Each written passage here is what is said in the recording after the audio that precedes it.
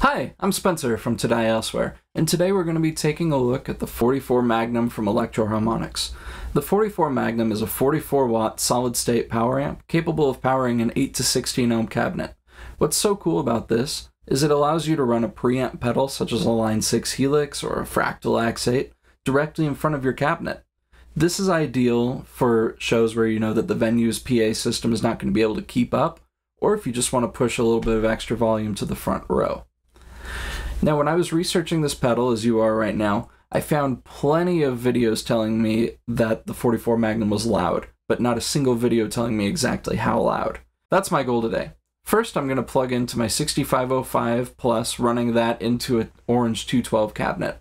And I'm going to set that to gigging level and display the decibel reading on your screen. After that, I'm going to plug into the Two Notes Audio Le Lead, into the 44 Magnum, into the same orange cabinet, and I'm going to try and get up to the same decibel level as the 6505.